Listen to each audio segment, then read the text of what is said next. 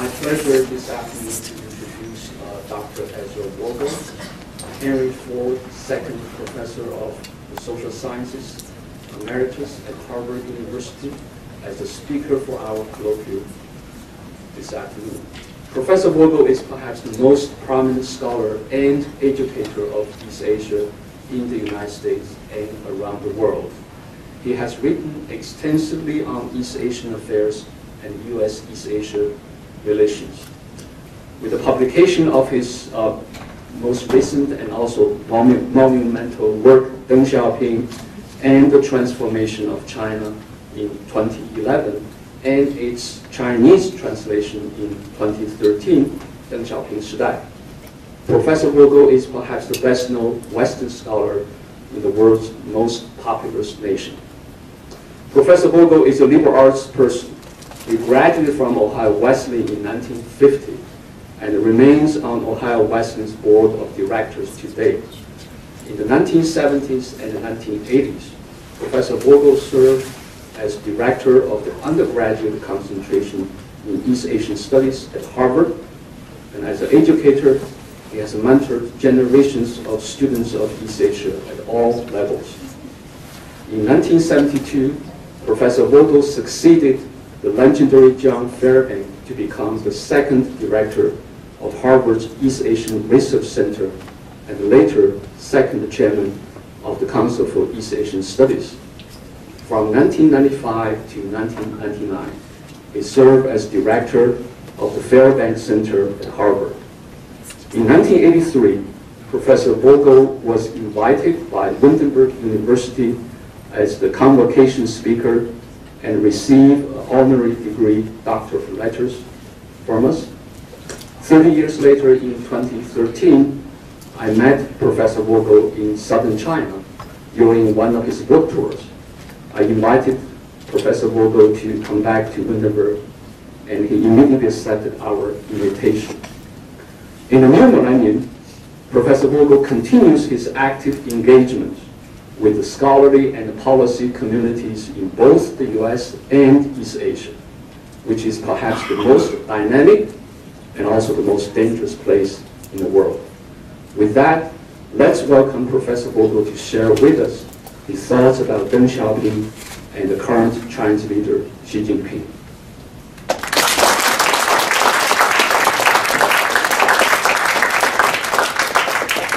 Thank you for that wonderful introduction. It's really uh, nice to be back in Ohio and back at Wittenberg, and I very much appreciate uh, Professor Ginyu's uh, uh, introduction. And I'm very happy to see my old friend uh, Gene Swanger, uh, whom I know even before, I, long before I got my undergraduate degree at Wittenberg, and is an old friend. And I think he's been retired so long, most of you we haven't had the privilege of studying under him. We've had the privilege of studying under uh, you. Now, since I have spent uh, uh, over 10 years doing the work on Deng Xiaoping, I thought I'd start with uh, showing a few pictures of Deng Xiaoping and uh, give kind of the background because when he asked me to talk about the present leader, I see him in the context of what Deng Xiaoping did. Now, Deng Xiaoping came to power in 1978. In 1978, China was really a terrible mess. Uh, over a billion people, and they've gone through the Great Leap Forward. The Great Leap Forward, an estimate that 30, 40 million people died of hunger. And then that was followed by 10 years of the Cultural Revolution, and Professor Yu Bin uh, went to work and uh, joined the army uh, in China. Uh, and at that time, uh, the country was in absolute turmoil. And you can imagine, say, in the United States after the Civil War, trying to put the country back together when you had Civil War. And uh, the impact of the Cultural Revolution was something like a Civil War, except it was worse because you had people in the same unit who had been on the fighting sides, and people were killed and tortured and burned, uh, and accused and suffered, and the children suffered. And uh, to have those people uh, try to come to terms with each other in 1978 when Deng came to power uh, was really some uh, difficult task. And then the country had been so full of Maoist ideology and uh, communes that weren't working and where they've been closed to the outside world. They didn't have enough funds really to invest in modern industry. And so the country was in one terrible mess. so to think of a country, some people have estimated the average per capita income was less than $100 per capita uh, when he came to power in 1978. And now uh, you look at China, and the economy has already passed Japan's in size, and depending on when you count it, how you count it, will probably surpass American size. Of course, the population at 1.3 billion, or almost 1.4 billion, uh, the per capita income is not nearly as great as it is in the United States or even Japan. But uh, if you say what is the overall power of the country, it's really tremendous. So the guy that put this, or led the country uh, back together uh, in this changing pace, changing way of getting, uh, going about things, opening up to the uh, Western world in a wider way, bringing in industry, uh, was Deng Xiaoping. Um, A little guy, five feet tall, but really quite amazing. I I have a lot of pictures, I'll just run to give you a sense of what this guy uh, was like. Uh, Here he is at age 16, uh, when he went to France in 1912. And uh, uh, right after 1895, at the sign of the Japanese War, quite a few uh, Chinese went to Japan. And now, of course, we have close to 300,000 studying in the United States. But 1920, probably the most popular country to go to was France. Uh, and it was thought of as a major civilization. And during World War I, quite a few Chinese workers had gone to France. So a lot of Chinese leaders had the idea, well, why don't we send students to France and they can work part-time. Even the rich people in China didn't have enough money to pay their tuition abroad. And so they thought they'd work part-time and study part-time. Uh, so that was done at age 16, one of those selected, very talented people. Uh, here he is with a group of uh, young communist uh, Congress in France. And this is to show uh, that a lot of people who were in that group later became leaders in China. I guess we have pictures of both sides here. Uh, right in the middle is Zhou Enlai, who became premier and Mao's right-hand man and uh, was the foreign minister, the person who met Kissinger. And here he is as a youth. Uh, and way over to the left is a man named Zhen, the general, later general, and really led the scientific, uh, technological development of China later on. Uh, and over just to, to your, our right, uh, looking at Zhou Enlai, you see Li Fuchun, who later really led the first five-year plan. And way in the back there is Deng Xiaoping. Now, they had to dress up for this picture, but they were really uh, worker clothes. And I, what this shows is from that little group of communists, there were an awful lot of people who later uh, assumed very prominent positions. Unfortunately, they didn't have a chance to uh, study much. They didn't, they didn't have enough money. And it turned out that uh, when they got there, uh, even the jobs in the factories weren't so good. The, the French uh, soldiers who survived World War I were coming back to work. And so when they planned these programs, they thought there would be a real labor shortage. But by this time, it wasn't. And so they got very little wages. And so they really had to end up working full time. But Deng was there five years and really got a sense of what life was like in a foreign country.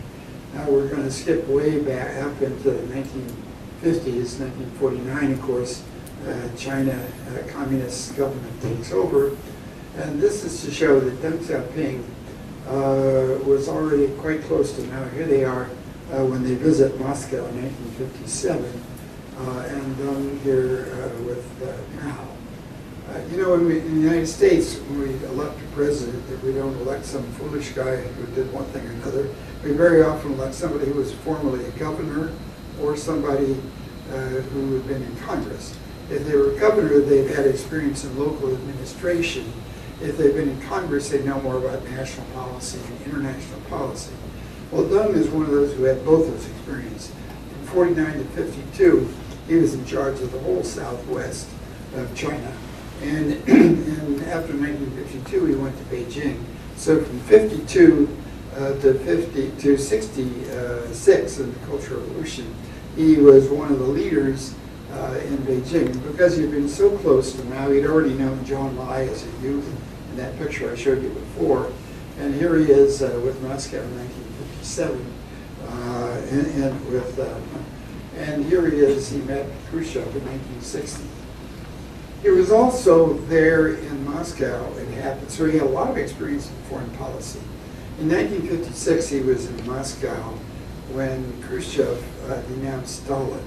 And he could see the terrific impact this had because Stalin had so close relation with so many leaders that all those who were close to Stalin suffered and the party was just driven, uh, split wide open because of that.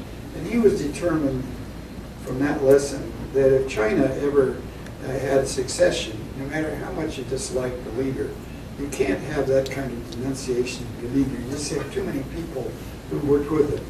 And so later on, when uh, Mao died, uh, he to- chose a very different path. He also had relations with a lot of other people. Here he is with Ho Chi Minh. It happened that Ho Chi Minh was in France at the same time he was, and although they were not friends at that time, they, they knew each other were, and so he became leader of Vietnam. So he had quite a range of contact in this early period with people from the third world, uh, and they were fellow revolutionaries in those days. Uh, in 1977, uh, uh, sorry, 1979, uh, Deng uh, led a, an attack on Vietnam. But in these days, they were all fellow revolutionaries fighting the imperialists. Um, and um, let's see, go back here. Here we are when he's off to Moscow in 1963. Here he is with Liu Shaoqi, another leader, John. I just behind him from John. Uh, they were off to Moscow. Uh, Deng was five feet tall, but if you look at him, you don't think that he has an inferiority complex because of his size. Very confident guy. Uh,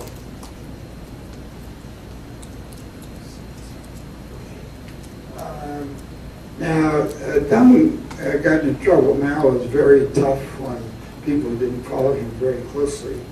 And uh, Deng had already suffered once uh, way back at, before 1949. And after 1949, he was twice sent down. Uh, once was in the Cultural Revolution in 1966, where he was considered a very big enemy. And uh, so he had suffered from 66 to 73, and then uh, he suffered again from 76 until he came back at the end of 78. Uh, but uh, here is the first time he came back in May 1973. Uh, came back into office, and it's just as if everything is uh, normal and he's back to work. Uh, but one of my colleagues at Harvard, David Gergen, studies leadership. And what he said is a lot of the interesting world leaders have had an experience where they were in a high position, then they lose out, and then they come back later. And the experience of having been in the wilderness gives you an opportunity to think things over and have broad perspective. When you're in the office, you just continue, you're so busy with things, you don't have that perspective. And uh, Lincoln was one of those who had a high position and got kicked out and came back. Uh, de Gaulle was had some.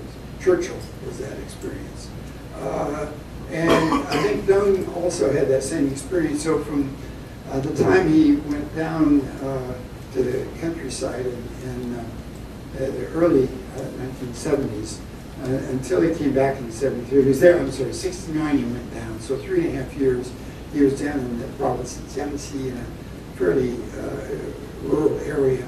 He worked half day in a, in a factory. Uh, here he was already a great leader, but it gave him a chance to get perspective and think what's the really important thing he wants to do when he comes back to power.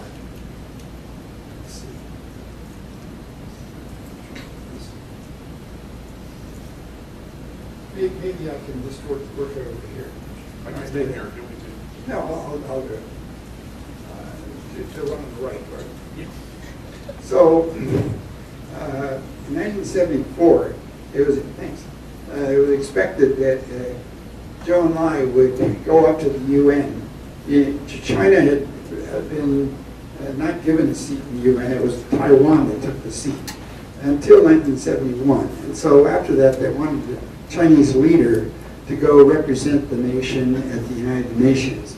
So the very first person they thought of going was Zhou Enlai. And Zhou Enlai by 1974 had cancer, so he couldn't go. So Deng was selected by Mao uh, to go and give the first speech for uh, China and the United Nations. There, Deng was giving that speech. Uh, here he is at the head of the table. Um, that's the first time he met Kissinger. Kissinger uh, had met Zhou Enlai several years earlier and uh, had uh, met Nixon when Nixon went to China in 1972. But when they first met, uh, that's, that's Guadalajara, the foreign minister on the left, and uh, there they are being friendly. But I, when I talked to Kissinger about this visit, uh, he said that he, that Deng was not as experienced and as smooth as uh, Zhou Enlai had been, uh, but but uh, he was he said he was still on a learning trip, and so he was kind of getting training. But there they are. So that was his first uh, visit to the United States.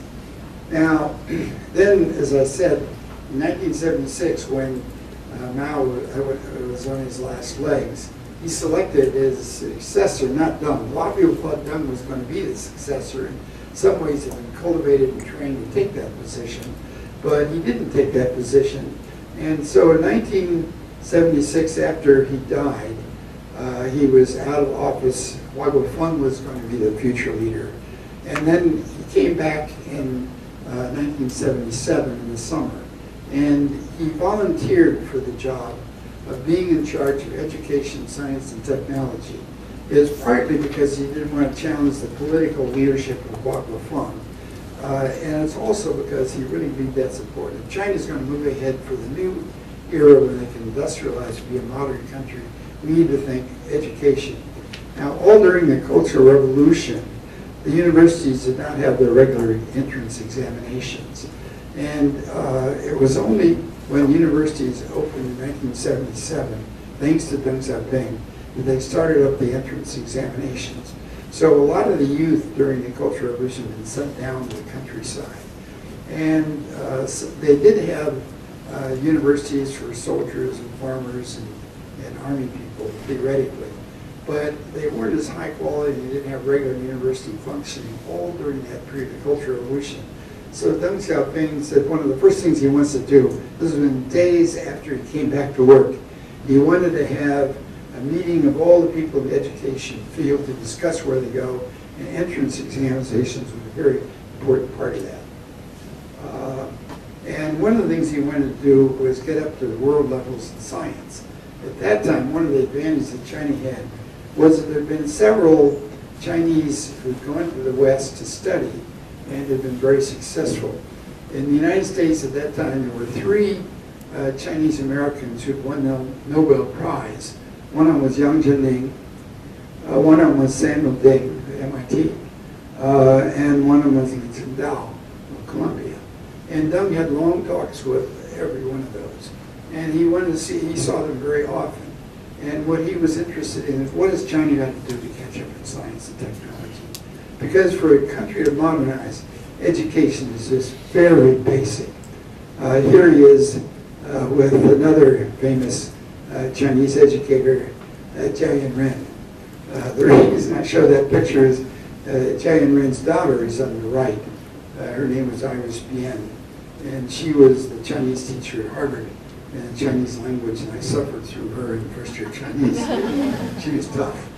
Um, you know, the Japanese uh, in 19, um, in, in 1871 sent a huge mission uh, overseas, the Iwakura mission, to learn about the West. So when they came back, uh, that was a very important basis for how they thought about modernization, what they had to do to catch up.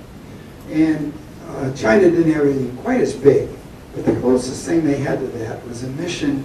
They, they were sending in several, 78 after Mao died, they were starting to send missions out.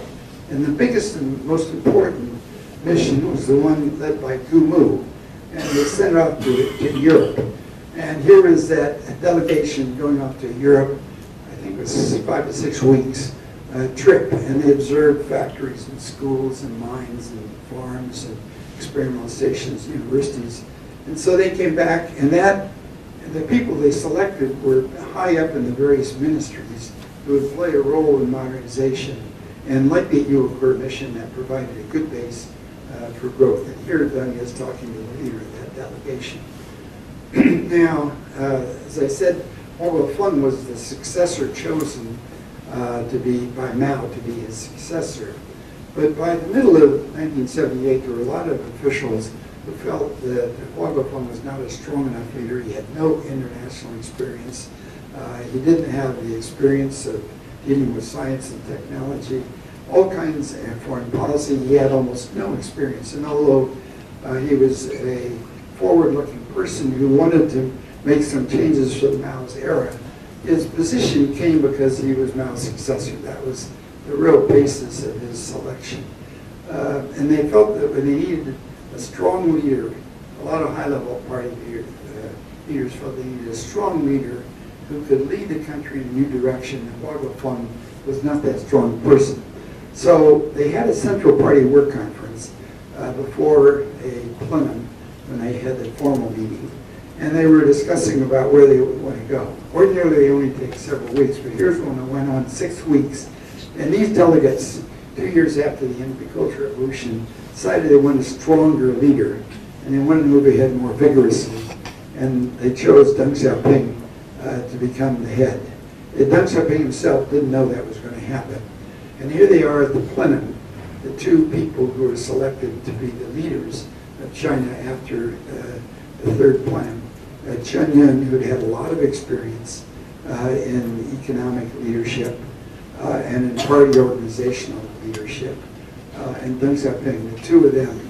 And I think a lot of uh, high-level leaders felt that Mao had run things too much in his own hands, and that when errors and problems occurred, there were not enough people to stop them. And they felt that Deng was, they knew that Deng was a very strong forward leader, and they wanted somebody to be able to balance it. And Chen Yun was the other senior member of the party who had comparable experience, whose membership in the Politburo went back even before Deng's. And so the two of them were selected uh, to be the leaders. um, in Chinese history with Japan, a couple thousand years of history, um, the first time any Chinese leader met the Emperor of Japan uh, was uh, October 1978. It was Deng Xiaoping when he went to meet the Emperor. And here Deng and his wife, uh, Zhuolin, with the Emperor and Empress of Japan. And there was kind of an abbreviated apology, and Deng accepted that apology, and Deng said we need to begin to work together, the two of our countries, and he was laying the basis for that. While he was in Japan, he visited several modern places uh, that he thought were going to be very important uh, for Chinese economic development. One of the places he visited was Kimitsu Steel Plant, one of the most modern steel plants in the world, and that became the model for China's first modern steel plant in Shanghai, the Baoshan plant. Um, the first uh, time that any Chinese leader rode on a fast train uh, was the bullet train from Tokyo to Kyoto, and here we are, Deng with his interpreter, uh, in the first time a Chinese leader rides on a fast train. As you know, China now has far more uh, mileage of fast trains in any other country in the world, and I personally find it embarrassing that we in the United States don't yet have any fast train. Uh, China and Japan's first fast train was 1964. Uh, this is already over a decade later, uh, and the United States still doesn't have, but uh, China has, uh, I forget what the latest figures are, but some close to 20,000 miles of fast trains. Um, Deng uh, felt that uh, you have to thank the people who helped China, China's relations with Japan. And uh, there's a famous Chinese expression, uh, when you drink from the well, you have to be thankful to the people who built the well. And uh, the person who built the well of Sino-Japanese relations, one of them, was Tanaka uh, Tanaka was in trouble in those days uh, because of the Lockheed scandal. Uh, but Deng insisted on the Sikh. Um, he went- is visiting uh, in Singapore. Uh, You know, when Nixon visited uh, China, they did not yet normalize relations. It took a few years. And uh, everybody, a lot of people were wondering why it was so slow. And in the May 1978, uh, President Carter felt they were ready to move ahead with, and he sent Brzezinski uh, to meet Deng in May 78, and they decided to move ahead with normalizations. And they selected for the American representative in Beijing, uh, uh, Leonard Woodcock. And Leonard Woodcock uh, was a labor negotiator.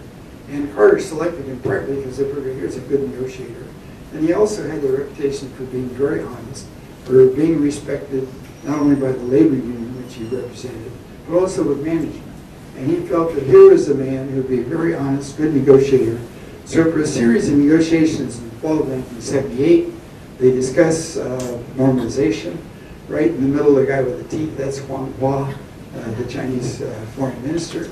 Uh, and there they are uh, celebrating the completion of those talks for normalization in December 1978. And so in January 1979, Deng comes to uh, the United States. The guy in the middle is an interpreter named Ji Chao Zhu, uh, the guy I've got to know pretty well because it turns out that he had been at Harvard. Uh, his father had been a Chinese American newspaper guy, left this newspaper in New York. And so he had a lot of years in the United States, and including two or three years at Harvard. He went back in 1950 and was trained as an interpreter. And he has a great sense of humor and was uh, Deng's interpreter. So here they are uh, having a. Uh, uh, told me that one of the hardest things interpreting for Deng uh, was he had to bend over and constantly he was about a head taller than Deng. Uh, but here they are having a good time. Here they are at the White House. Uh, here they are signing the normalization agreement. Uh, now, just as he wanted Tanaka Kakuei to come back, he said the guy who built the well for Chinese American better relations in the United States was Nixon. Uh, Nixon was a bit of trouble after the White, White uh, Watergate scandal, but said he hoped that he would be allowed to come to the White House. So the first time after Nixon left the office to come back to the White House was when Deng Xiaoping insisted that he come. Carter said okay, and there they are at the White House with Nixon and Carter. Uh, first time Nixon's in the White House ever, after Watergate. um, we in Massachusetts are very proud, proud of Tip O'Neill, who was our congressman. The man said all politics is local. Um, and uh, he met uh, Tip O'Neill and had a long talk, and Tip O'Neill briefed him on uh, how Congress and the White House get along. Uh, in the United States, sometimes we fight with the president, sometimes we make a lot of mistakes with the White House, and we have to tell them what to do. And so it's a lot of trouble, but in the long run, we think a democracy works pretty well because we have checks and balances, and so if the president tries to go any place, we can uh, tell him, you know, he has to shape up. And uh, Deng listened very carefully, and at the end he said, we'll work in China. He felt they had much better centralized leadership and didn't need to have that kind of split leadership. Uh, he took a trip around the United States. Um, when he was in Houston uh, at a rodeo, a lady rode up and gave him a hat, and immediately put on the hat. And uh, that picture became a great symbol, both in the United States and China. In the, in the United States, it became a symbol. Uh, hey, those Chinese, maybe they're a bunch of communists, but somehow, guy like that, we ought to be able to work with them. But even more, I think, in China, uh, American until that time, it wasn't America, the, the word wasn't America, it was Meiwo uh, American imperialists. And uh, so, hey, if we can have that much fun in the United States, maybe America isn't so bad. Maybe there's some things we can learn from the United States. Uh, here he is at the Space Center. Uh, here he is getting business going in Beijing. Uh, here he is with uh, George Bush Sr. It happened that when George Bush Sr. had been in charge of the liaison office in Beijing in 1973-74, uh, Deng was in charge at that time. And so they had very close relations already in Beijing.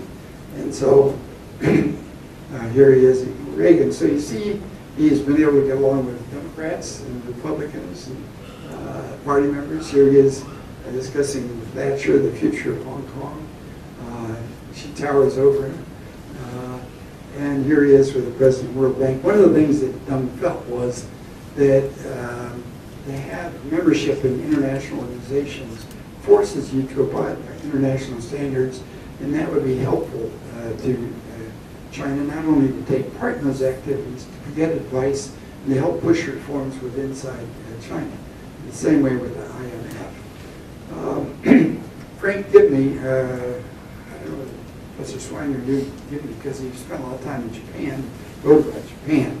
But uh, Deng felt that in those days, before they had Wikipedia, that uh, he didn't know what Wikipedia was, he never did. Uh, but that one way to introduce foreign culture was through the Encyclopedia Britannica.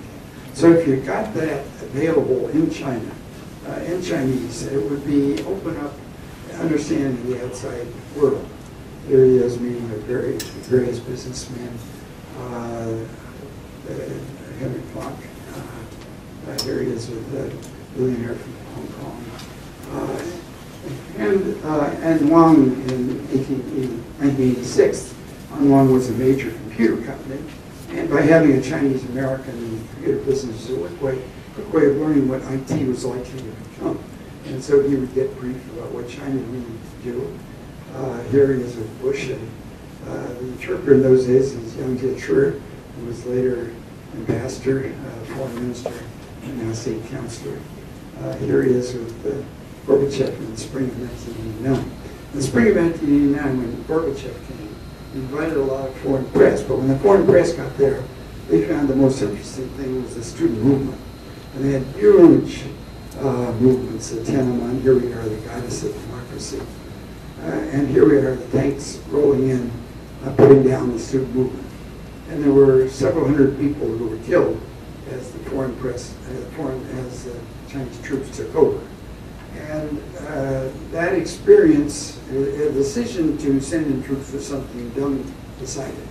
They had sent in unarmed troops on May 20th, a few weeks before, and they hadn't been able to keep order. And he felt that uh, while it was not a good thing to do, uh, there was no other choice but to put down the movement. And the way to put down the movement was send in the troops and the people. He warned the people not to block, but if they did, the army was told to do what's necessary to restore order. They did. Several hundred people were killed, and the relations with a lot of foreign countries became very bad. And for many people, this was a mar on Deng Xiaoping's record.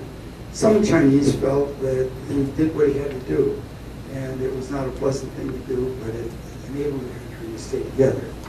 Uh, Bush Sr. was president, but had had good relations with Deng, and immediately sent uh, Fred Scowcroft because he felt it was very important to preserve relations between the two countries. So after Tiananmen, uh, Deng tried to, to say to the world, we should, Chinese should stay calm. He told his people, don't get too excited. Foreign countries don't have very long memories. In a few years, they will want to come back to our market. And uh, so don't get too excited. Uh, and uh, 1992, he's 88 years old. He passes the uh, torch to his successor, Jiang Zemin. Uh, here he is waving goodbye to the political stage. 1992. After that, uh, he's an old man walking around. He was born in 1904, so here he is, 88 years old, uh, finally leaving the political stage, uh, walking around his garden.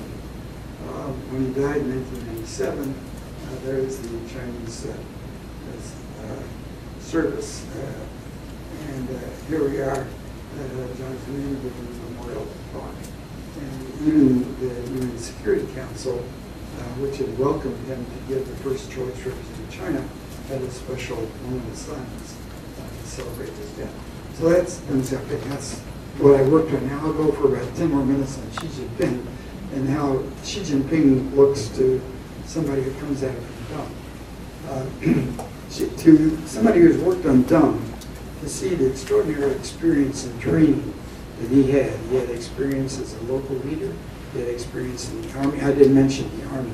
For 12 years, he was in the army and was the front uh, political commissar in the Huaihai campaign, perhaps the biggest campaign during the war, 500,000 troops uh, that he was the political commissar for. So he emerged as a military hero. So he had uh, five years in, uh, France, one year in the Soviet Union. He had two or three years in which he worked with Zhou Enlai in managing foreign relations of the country. He had 10 years as General Party Secretary, uh, and as I say, three years in charge of the Southwest. Uh, so he, nearly all the major leaders in all parts of the country had worked under him. He knew who they were, knew where the, uh, like Lyndon Johnson knew where the bodies were buried, and he knew how to accomplish things.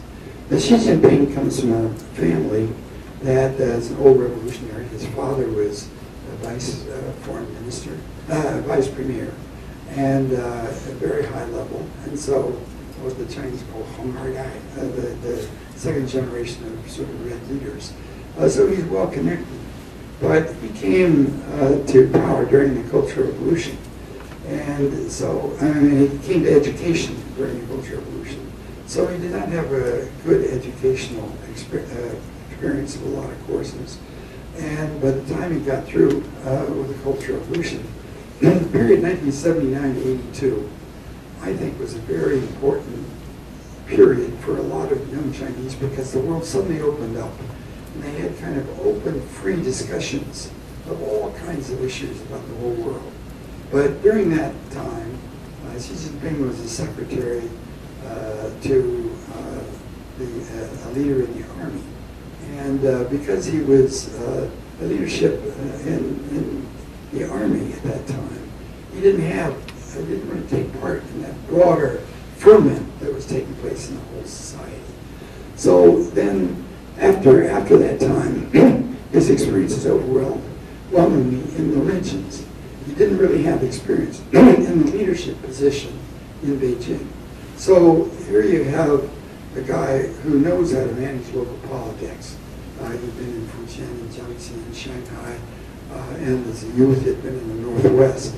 But he, he, he, his family had been in Beijing. He'd been there partly as a kid, but he never worked in Beijing. He didn't have that experience. So uh, in the United States, it'd be like somebody coming from outside the Beltway uh, who had absolutely no experience in Washington politics. And so he didn't have any of that sure-footed experience. So from my take, this meant that Xi Jinping uh, did not have sort of the of experience and confidence. And issues like foreign policy, in my view, he was kind of like an apprentice in training, or somebody in taking office without that kind of depth of background and understanding. Um, when he came to power, the two leaders before him, Jiang Zemin and uh, Hu Jintao, I think you can compare them somewhat uh, to uh, bureaucrats who suddenly rise up to higher position. That is, people who knew the details, who worked administratively, but never been involved in the rough and tumble of real tough politics. And so when I think that a lot of people at the high levels thinking who they're going to select as a new leader, they wanted somebody who could manage those politics, who had more confidence, who didn't have that kind of administrative structure, who, who, who had a lot of confidence, who had a lot of friends and contacts. And so I think that's part of the reason Xi Jinping got picked. And by the time he came to power, I think China had a lot of new problems. Deng had one kind of problem is that how you get a country change direction completely, a poor country that started on the path. And once you begin to get the path of growth, the growth feeds on uh, popularity and support, and so people could move quite ahead.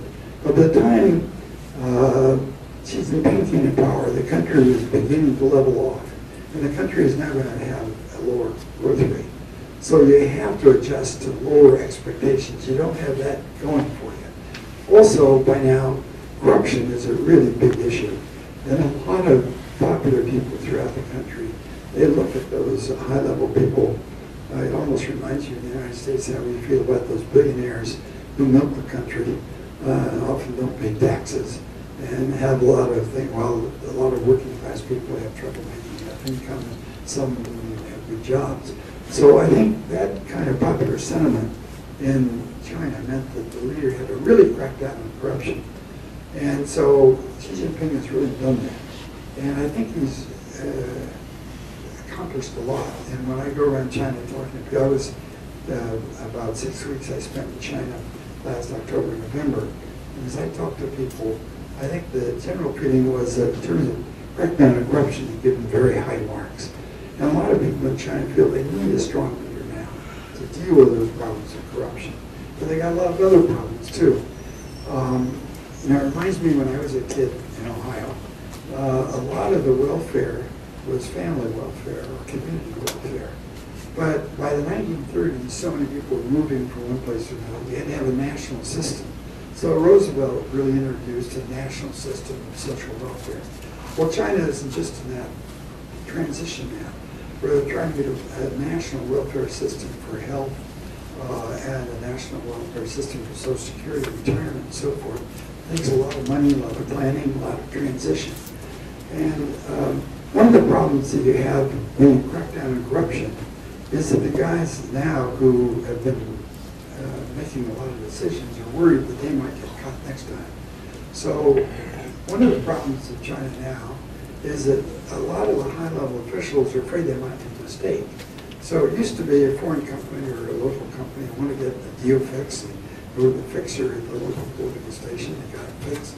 Now the guy said, mm, no, it's, it's better not to do anything than to make a mistake. Uh, if you don't do anything, you're not likely to get much trouble. But if you make a deal, you know, you might be accused of corruption. So a lot of things are not happening very well. So you've got a leader now who has those kind of problems. Strong leader, very confident, centralized power, uh, runs around the world making friends. China now has a lot more power than it did in Deng's age, and a leader who's ready to be much stronger dealing with the outside world. So you have really quite a different picture, new kinds of problems, strong leader with less experience, but he's got to deal with those problems. Uh, well, that maybe enough to get us started for the question. Thank you very much.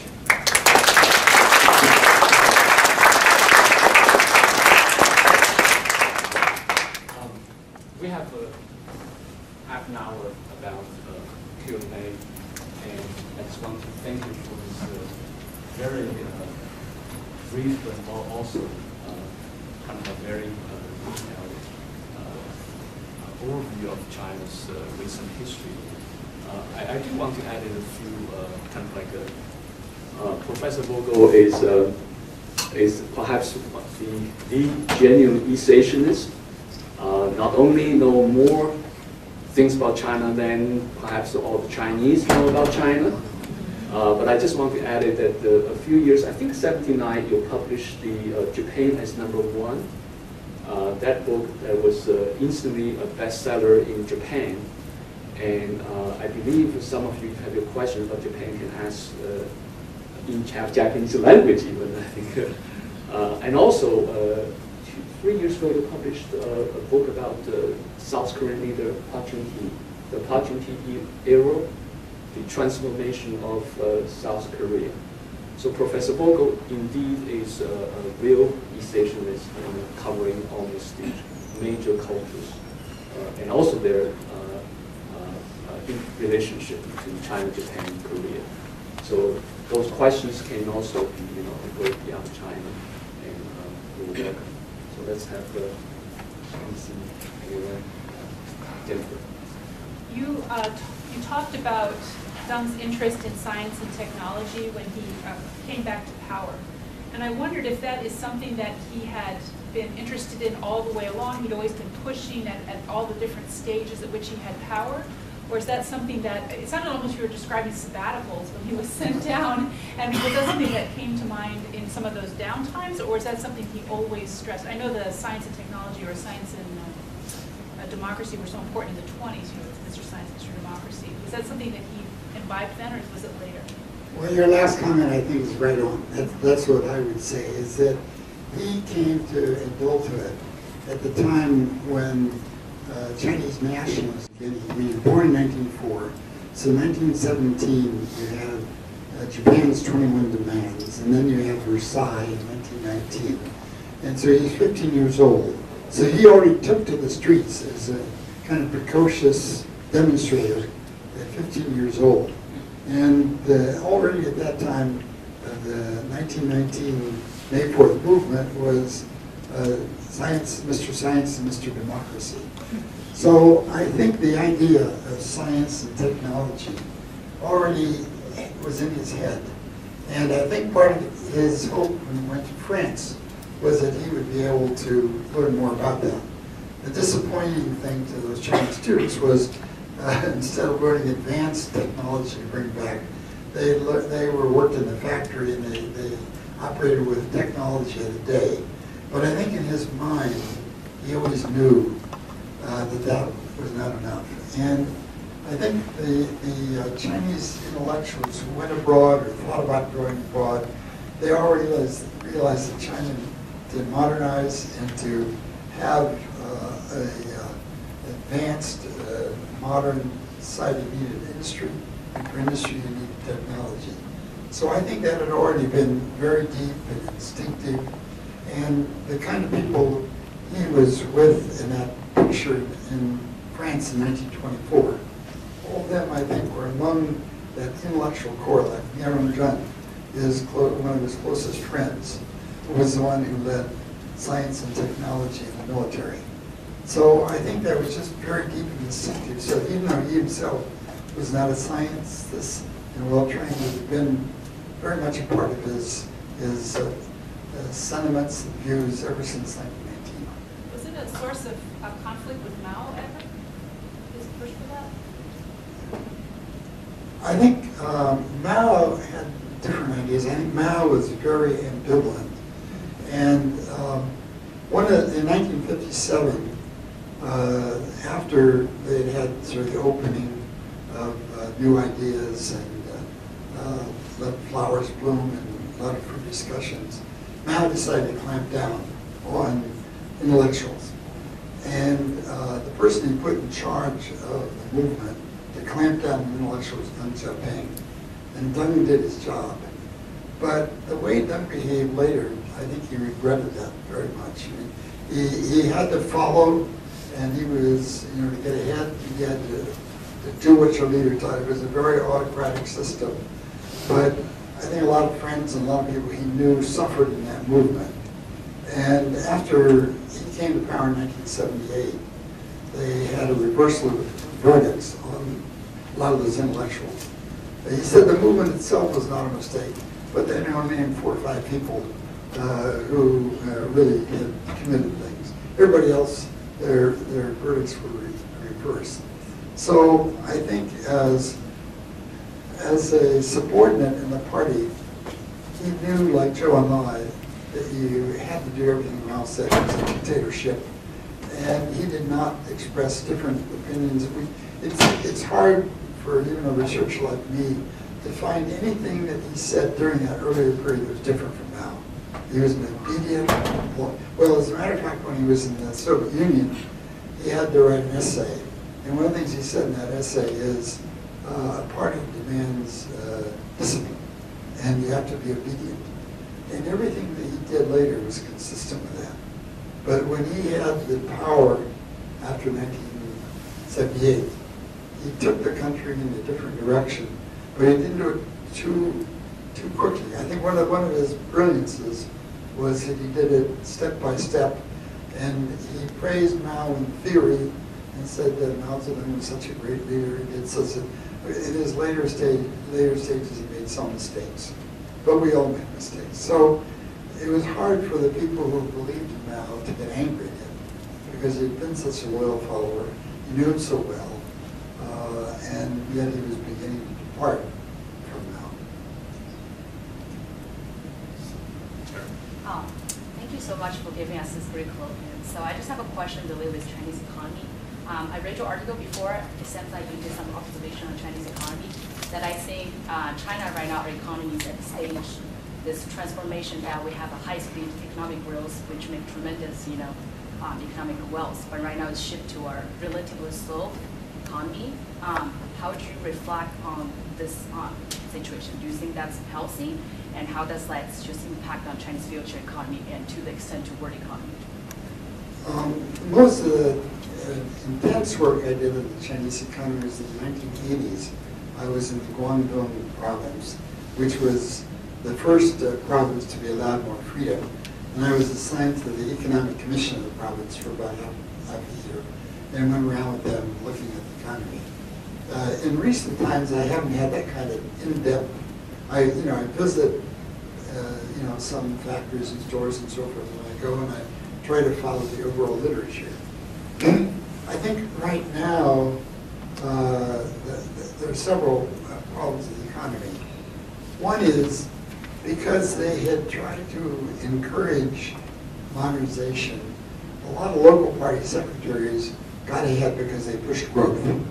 So they didn't push environmental understanding very much.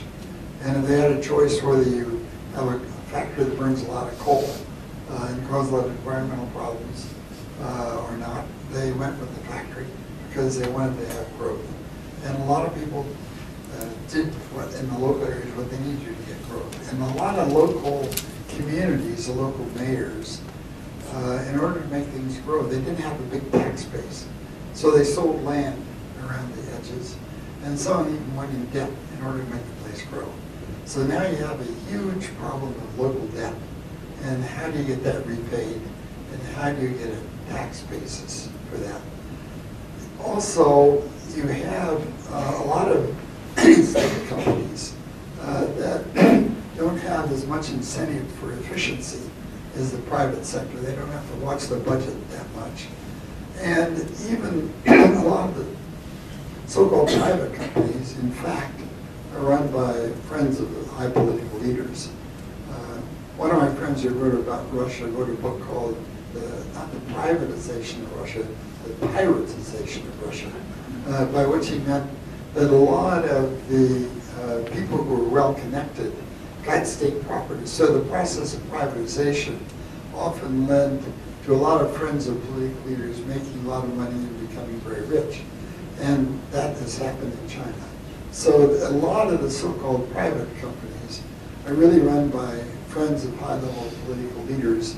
And that means they are not as pressured uh, for efficiency and uh, high uh, performance as uh, open private companies. So those are part of the problems of, uh, and, and then also, because wages are higher, need a big transition. So the coastal areas which have been producing goods for international markets now have to pay workers a lot more. And so those coastal factories in Guangdong and Zhejiang and Jiangsu and so forth, they uh, now have more competition from India, Vietnam, other countries that can have cheaper wages. And a lot of those factories now have to move to the western part of China where have lower labor costs and new transport connections will enable those local factories in the west uh, to grow. So I think those are some of the basic, of course, there are uh, economic problems they have to deal with. Uh, The higher cost of wages, how do you adjust? How do you move up to higher technology uh, in in order to be more efficient to compete with the most modern countries? Uh, How do you compete uh, Vietnam and and India, which have lower salaries? Uh, How you handle the problem of lo- lo- lower debt? And how you force state companies and private companies uh, with- that uh, still have political connections that are not as motivated for uh, efficiency. How do you turn that around? Uh, And then, of course, a lot of those local governments are now in debt. So how do you deal with that debt problem? So to me, those are the, some of the biggest issues that the economy is facing now. So I want to go beyond what you just talked about today and tap into your expertise as an East Asianist in general. Um, so East Asia, we always talk about Japan, Korea, and China. Uh, but then there are these border countries like Mongolia and Vietnam that sometimes get called East Asia and sometimes get called Central Asia or Southeast Asia. And I was wondering um, if you think of Mongolia and Vietnam as East Asia or not, and what the criteria would be for determining that, and whether it matters. Of course it matters. Uh, I'm not as uh, a specialist on Mongolia and Vietnam as some of the other places, I'll give you my impression.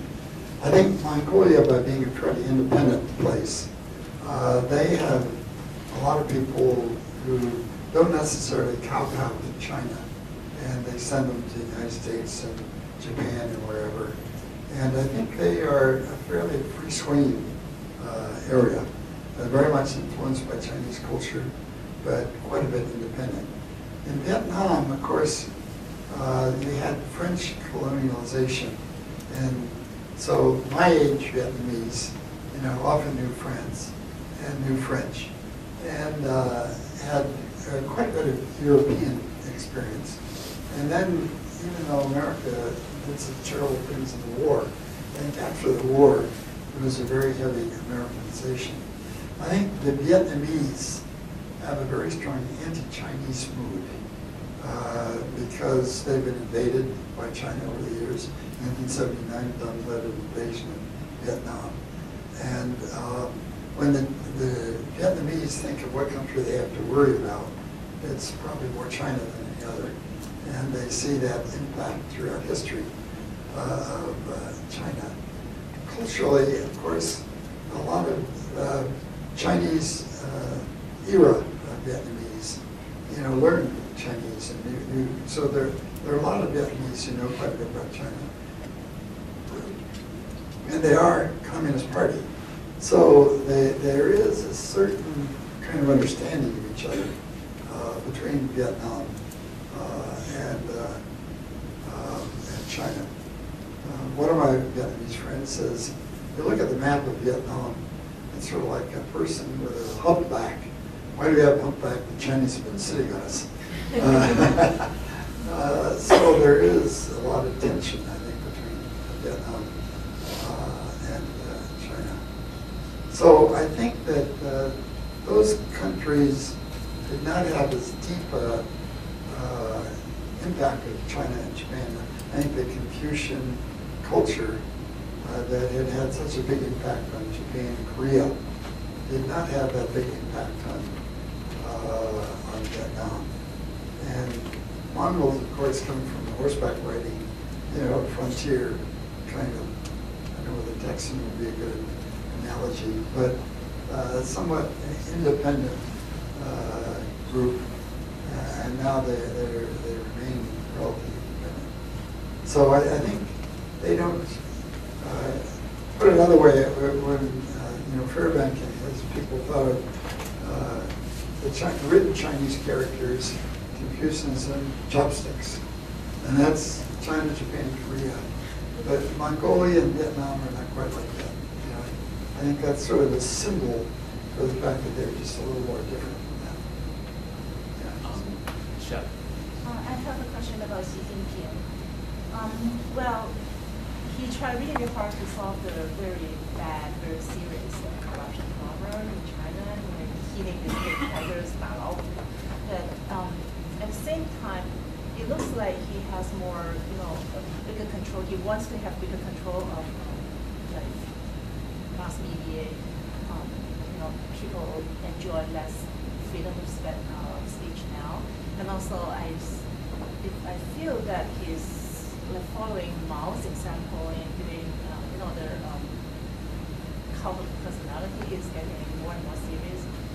Is it because, like you said, he lack of experience or maybe um, insecure, or how do you combat this? Well, I think that's a very key critical issue right now.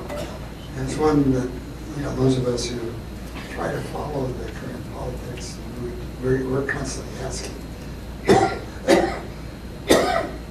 When I talk to my, most of my Chinese intellectual friends in China, the impression I get is that when he first came to power, a lot of them hoped that he would move much more toward democracy, more open discussion, more freedom, because his father uh, uh, was really quite uh, a liberal and was a relatively re- reform-minded. Uh, but most of my friends were somewhat disappointed. Uh, I would say maybe one out of ten say maybe the second five-year term he might still do something. But I think the dominant view is a disappointment that he has cracked down on freedoms. Uh, he's now worried about foreigners' control of internets. Uh, the foreign reporters are uh, very unhappy with him because uh, lot of them are not allowed in, and those who are allowed in are chased or, or uh, harassed.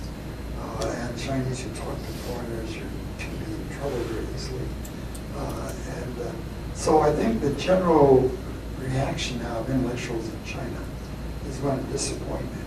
At the same time, if, you know, I, I think that a lot of the Chinese who live there have, have learned over the years to deal with the autocratic system.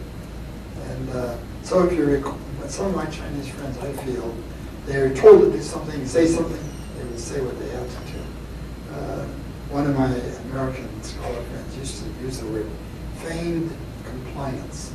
So, you know, the, the leader says, say so-and-so, yes, you know, they, and, and, uh, you know, they, they express their opinions, you know, that they're supposed to, that indicate the leader, but they still have their own opinions. And my experience uh, this last time when I came uh, for the few weeks is if I talk to Chinese in groups of 10 or 15, they're often more cautious because somebody in that group might be reporting on what they say to higher ups, and some little political commissar might report it. But if you get a one-on-one or one or two with close friends, they have quite different views and are very independent-minded. So I think that a lot of Chinese intellectuals, in my view, are still quite independent-minded and capable of thinking differently. Uh, and they don't think this will last forever. And uh, some are now saying, well, maybe it could change in the second five-year term. Some people say, well, maybe seven years later, after Xi Jinping is done. Some people say, oh, we're scared he might try to seek a third term, and it might take even longer. So I think there is, if I had to guess the explanation, it's that China is now going through such difficulties because of the financial issues uh, and uh, because of the dissatisfaction about corruption. Even though they have a campaign against corruption, it still exists. And, and medical care and uh, old age security. There's so many problems that uh, I think the leaders don't want another, anything else like Tiananmen again. They, they feel they have to be tight and uh, to keep tighter control or things might break loose and uh, the country would be badly divided. So if I had to make a guess as to the various reasons you give for what, what is the most important reason why they are clamping down, I think the leaders themselves are very worried that dissension, uh, they're not so much worried about dissension in the local community, because if they're angry at the local mayor or the, uh, the county magistrate, uh, that doesn't threaten Beijing. But, you know, in the history, very often some of those religious cults that are linked one locality to another, those are the dangerous ones. So Falun Gong is more dangerous because you have Falun Gong all over the country.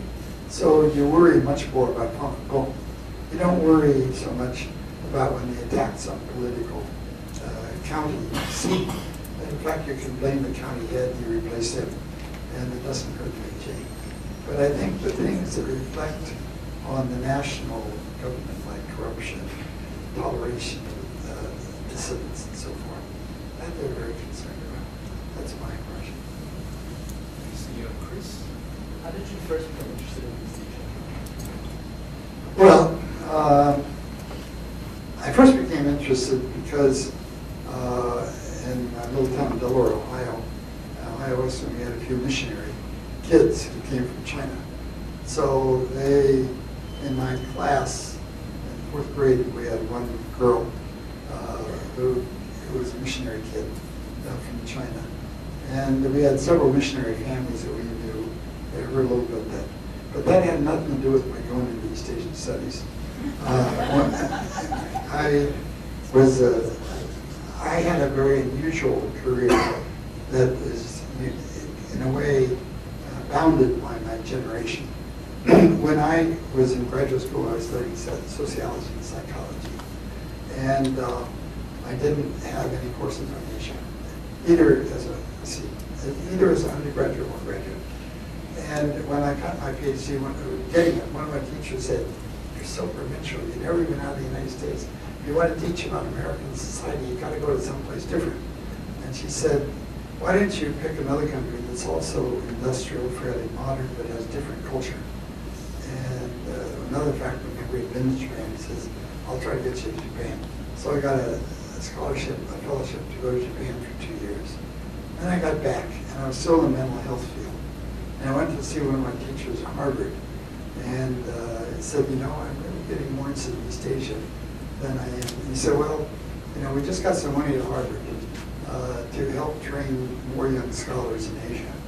And we don't have any senior sociologists. And uh, we looked around the country, and we don't have anybody we want to hire. So we decided that uh, we'll give you a few years of training, and if you work out, you can stay.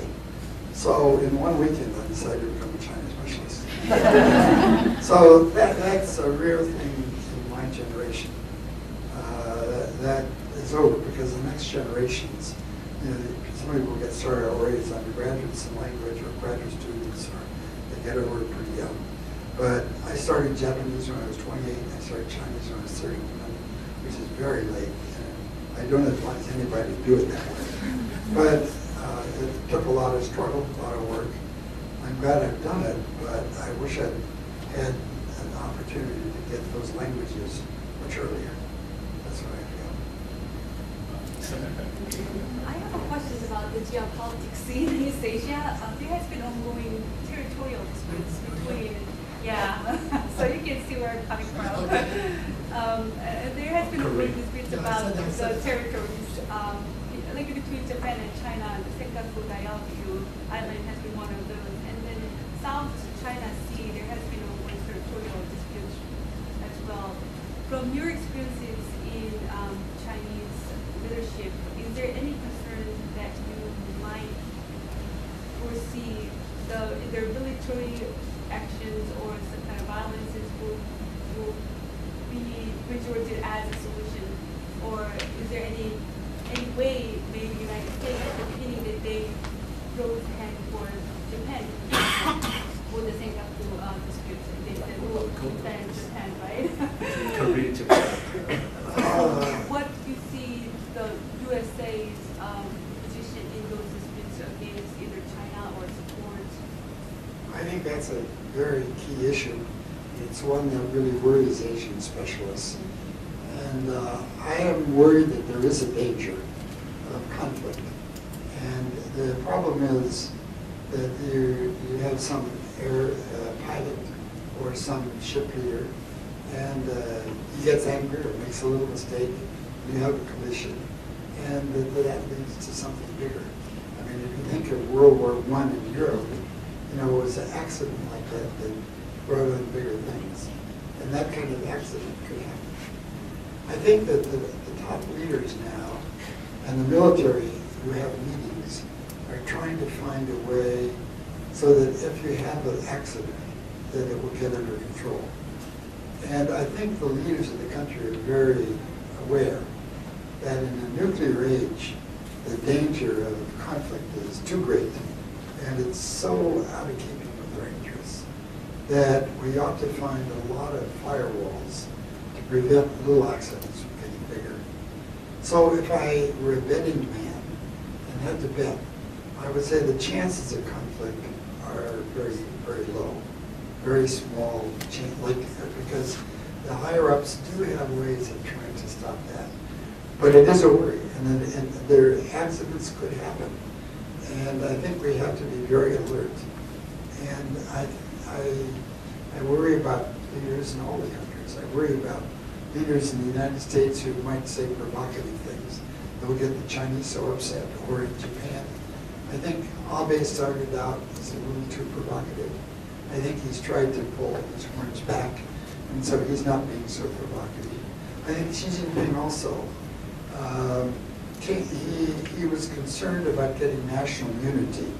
And so he made some strong statements about Japan uh, early. But I think uh, he learned that it's too important now. It, it uh, hurts your relationship all around the world if you were too strong on Japan. And therefore, without becoming really friendly. I think he's trying to take some steps, at least have some discussions with Japan to prevent uh, the conflict from escalating. And danger, of course, is that countries change leaders, and the new leaders may not be aware, and they may not uh, uh, behave in a, in a circumspect way. They may do things that are too provocative, that, that could be a real danger. It's a real worry, and I think that the, the, uh, a lot, I have a lot of friends in Washington who work on Asian issues, and they're, they're all very concerned that uh, the dangers of conflict. I think the danger of conflict between Korea and Japan is not so great. I think they will, uh, they have plenty of problems, but I think they will keep under control. I think the bigger problem is China versus Japan and China versus the United States. That's my perspective. We have time for one brief question. I have a question, I don't know if you can make brief if you want. Um, so you, um, one of your original works was, um, Japan's the middle class. And so I was wondering if you were write a a similar book on China, um, China's, China's the middle class. What would be some of the main themes? One, uh, as you know, because you're in that field, um, the new middle class in Japan did not just mean people with middle income. Some, a lot of people who talk about middle class only think middle income. But what I was writing about uh, were the families of people who worked in large organizations and had a certain security in Japan. And I saw uh, a kind of way of life that came from a secure husband uh, who had a good job and where the uh, family had a fairly predictable life. Uh, they were not going to become super rich, but they didn't have that many worries, uh, and they wanted to give the train, children so forth. I think in China, there's several things that are quite different. One is, it's a, it's a huge society, and you don't have that much job security except through the government. There's much higher turnover and people talk about the middle class there as kind of middle income.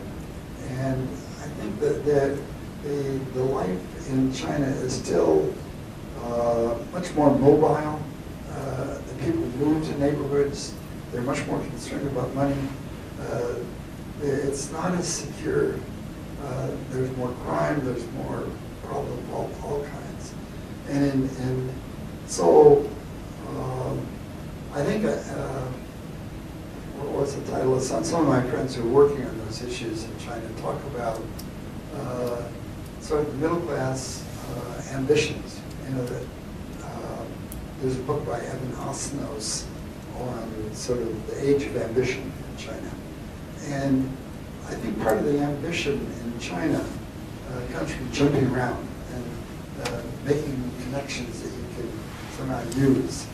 And it's a more mobile, you could say more entrepreneurial, uh, you could say more aggressive, uh, depending on how you look at that.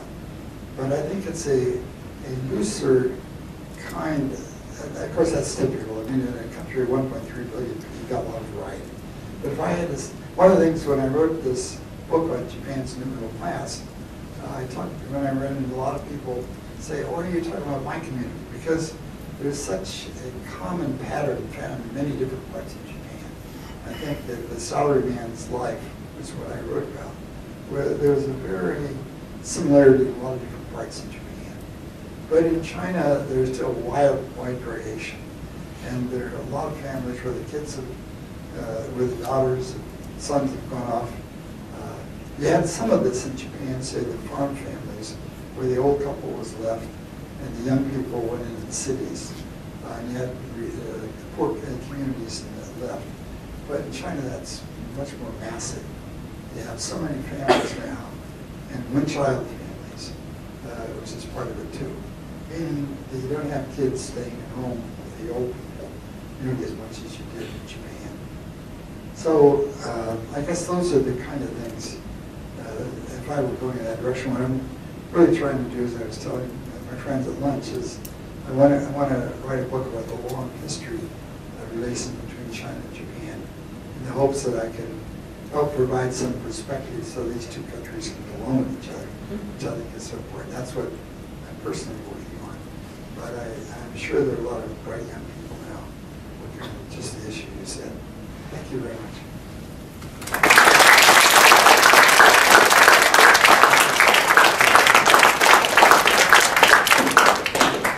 It's really, uh, I think we still have, have so many questions.